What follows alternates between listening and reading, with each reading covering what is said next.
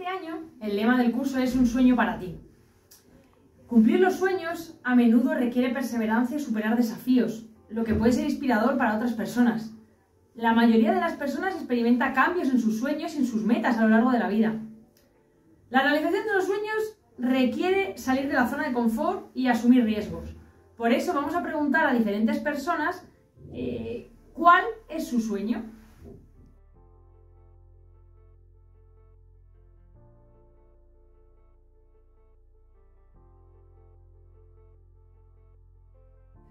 Mario, ¿cuál es tu sueño? Mi sueño ya se ha cumplido. Es el de dedicarme a la educación salesiana.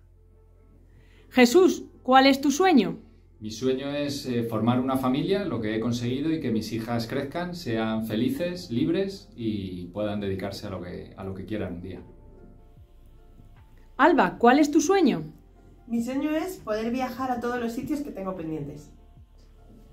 Vito, ¿cuál es tu sueño?